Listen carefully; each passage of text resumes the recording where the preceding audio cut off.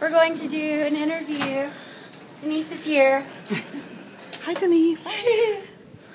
Got some tour dates coming up. In August, I'm playing with Merle Haggard, so that's going to be cool. Um, and like I just said, I just found out I'm playing on the Grand Ole Opry for the very first time. So that's going to be a big one for me. Jaida. Are you videoing or are you taking pictures? I'm videoing.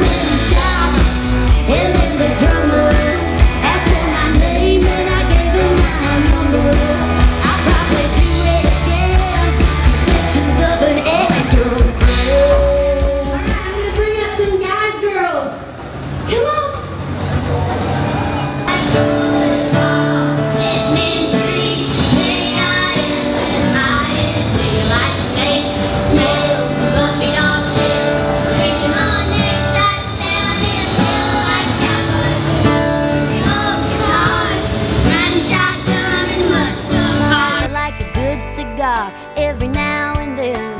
What can I say? I'm attracted to men. I'm a guy's girl in a guy's world. It's all good if you like what you see. Don't be shy, go on and whistle at me. Cause in a guy's world, I'm a guy's girl. Lucky for me.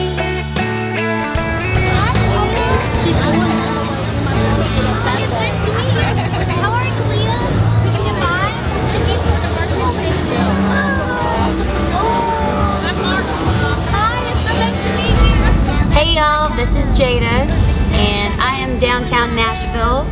It is CMA Fest 2012, and I just got done playing the Bud Light stage out front of Bridgestone Arena.